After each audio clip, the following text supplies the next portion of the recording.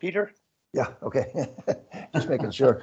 Uh, thanks, uh, thanks, uh, Darryl, uh, for your explanation. I, I, just have a couple of points. One, um, I couldn't agree with you more about the uh, vernacular, verbiage, uh, vocabulary, whatever you want to call it, in terms of um, getting your point across. and I think the more descriptive that can be, the more meaningful it can be uh, to players, I think is um, is extremely important when it comes to t- to the uh, teaching and learning. The, the, the one thing I will say though is I think it can vary. I think that uh, what what is meaningful for one player may or may not be meaningful for another player. And I think as a you know the challenge for a coach, although you, you certainly want consistency, the challenge in coaching is making sure that uh, that information that you're giving to individual players is meaningful for those individual players. They all learn different. They all process information different. So I think that there is some some uh, again keeping the consistency in mind. I think there is some. Uh, you know, I had mentioned this maybe before you got on the call. There is some gray area there that needs to be addressed from time to time um, with the players. Um, but I have a question for you. Uh, you had mentioned earlier in your discussion about even at the high, and I may be quoting you wrong, but uh, even at the highest level, uh, we have players who are unable to make reads for a, uh, for a myriad of reasons. Maybe you could expand on some of those, not the whole myriad, but some of those reasons that you feel that um, players, even at the highest level, are unable, you know, in your opinion, to make those reads. I I think that they make the reads they don't act on the reads. And the reason they may not act on the reads, and the longer they go not acting on the reads, the less likely they're going to make those reads as consistently as they once was.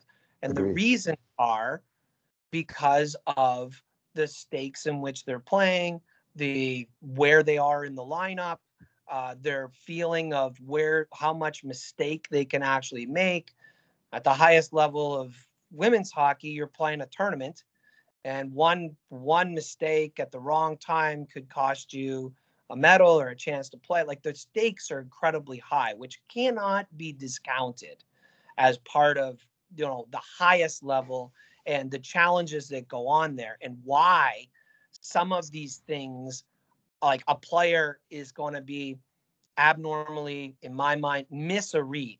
They're going to miss an obvious read to put themselves in a specific spot. They do so because of the stakes and all of those where they're at, what they're trying to do, all the context of the game. They're just going to perhaps err on the side of caution. So there might be only a small percentage of players, the highest level, who are making a decision on the read of where they should be on the certain sides of the puck at a given time. They're actually processing, oh, maybe I should be here. Maybe I should be mm-hmm. there here. Oftentimes, they're going to position themselves perhaps more on the defensive side, and then if if there's a hundred percent chance, then they're going to jump, or it's an eighty percent chance, then they're going to get they're going to activate. So it's not to discount it. I'm just I'm saying that if you were to watch, you know, watch the gold medal game, for example, and you just evaluated every puck touch and the players around the puck touch, and their support and where they moved and when they moved and when they saw the read how many of them and at different times of the game it's a it's a sliding scale right? It moves as to what their tolerance for risk is what the score of the game is and all those considerations they're all factors. That's at the highest level. But when you're coaching we don't nobody like we have six defensemen playing eight defensemen that play at the highest, highest level that we have. Well, the rest of us can be in situations in which they are learning these sorts of things. So they don't have the same level of consideration. They're only going to play, you know, uh, at a level that, you know, gets to a point where there's maybe three or four games all year that they have these considerations. The rest of the time, they can really be learning what these things are and not be at the same level of risk that we're promoting at the highest, highest level where the stakes are so high, if that makes any sense. Yeah, that makes sense. I, I, I think, you know, that kind of happens across hockey. I mean, I, I, I, you know, you can even see that in the NHL as well. That you know, Well, especially- you know what you, yeah, yeah. I mean, guys, I mean, there it's costing the money, right? I mean, uh, you got the fourth line guy who makes a mistake, um, turns the puck over at the offensive blue line. He's probably not going to see the ice again. So I, I you know, and so I, I, can certainly agree with that. That and, and especially, you know, the the risk and reward really changes depending on where you are in the lineup, who you're playing with, all of that sort All of stuff at every level. Yeah, definitely. So Yeah. my so my question is, do we all coach now on that standard? Because that's what we're hearing. Is that because we often the the way the vernacular comes, it comes from often the top down. Yeah. Like we're hearing every night you're gonna hear a, you know, you could you could hear 20 different uh you know press conferences about the game and they're going to talk about these things and different types of words that are happening that are happening at the highest level and now i'm a pee-wee coach and i start using that vernacular with my pee-wee team i don't know if it's the same Yeah, i'm, I'm going uh, to argue it's not yeah, and I- I, I- think it, it, it's different but and we don't educate our people enough about what's different about it which is the whole content i hope that makes sense peter but that's Yeah, no, no, I, I, I get it. And for me, the issue is at the developmental level. So, you know, Atom Novice Pee Wee is it's about making the right play. It's not whether Yes. the kid's on the third line or not. It's about making the right play. And, Yes. and, and that's the only way that they're going to get. Now, the, the issue is the right play varies from coach to coach. So, Correct. you know, and, and that it, to me is where we want to make some, some progress. And why do you have, you know, maybe you're, you know, if you got a, a, team of nine forwards and your eighth, ninth guy, you're telling them to dump the puck in and change when there's a chance to carry the puck into the offensive zone, then to me that's wrong. I, I think that that's a mistake. That you know, it, and again, so some of the factors I don't think should come into play at the developmental level in particular. You know, it, based on score or ability level or all those things. It's it's about Yeah. doing the right thing.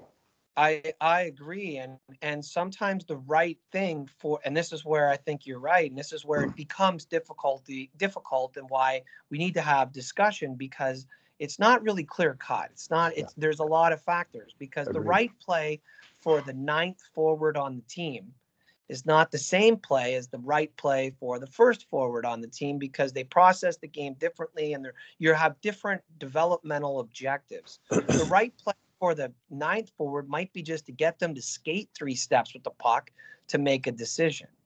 The right play for the first forward might be to find a two on one somewhere and work inside the two on one. So it's very different, and, and, and that's a sliding scale, which is why you know, it's very difficult to impose these like what's right and what's wrong Yeah. at the lower levels because there's so many factors that weigh into it. What I want to get to as part of that discussion to maybe simplify it is these three levels of where where you are in relationship to the puck. To the puck. Are you yeah. above the puck? Are you even with the puck? Are you behind the puck? And if so, why so? Why were you there? What were you trying to do? And to me, and this goes back to my own philosophy, and I'm ramming down everyone's throat all the time, which is I would love to see more discussion based coaching at the minor hockey level Agreed. and asking of what's going on rather than a telling what's going on or i'm uncomfortable with the risk as the coach because of what i saw but maybe for that player like let's talk it through. I think that's such an important thing that we just don't do. As a coach you're always imposing your philosophy and your your uh, admire at your risk levels and all that stuff. Should you? Should you be? I don't know that we should. Maybe it's better to get it from the kids and then, you know, you can coach the results. So, you know, hey, you know, you're you go out to the point, uh, the puck goes D to D. You're the weak side or the strong side forward. Go D to D puck, you go out to your point. Guy goes D to D. That guy shoots it off the pass, it hits a shin pad to, to the to that to that forward. This guy just sprints out of the zone because he's like turnover. I'm gone. This guy gets it. He tries to go off the wall, kind of mishandles it. They keep the puck in, Yeah, and now I got a forward out in the neutral zone who is effectively, by the letter of the law, cheating for offense. But is he cheating for offense? Uh. Really? He made a read. That was a block shot. His guy was getting to the puck first. He sprints out of the zone. And the fact that the kid that got the puck wasn't able to make that play, do we hang it on the kid that left early? We do. Should we? Yeah, I'd rather say, what did you see? Well, Darryl, I saw the I, I saw the puck get blocked. I knew our guy was getting there first. I'm thinking this is a breakaway. I had to I felt like I had to go. Yeah, I know, but they kept the puck in. Yeah, I know, but our guy got there first. Like that's not fair, maybe to hang it on. me. And I think we get caught in these situations where, you know, that this kid's making a read. He was on the defensive side of the puck. He read the circumstance. Should we be encouraging the read? That was, in my mind, that's the right read. It's a bad Yeah. result. Now, maybe, maybe it's the last minute of the game. And now he's trying to get an empty netter. And you're like, okay, well, wait a minute. I understand that. And that is the right read, no question.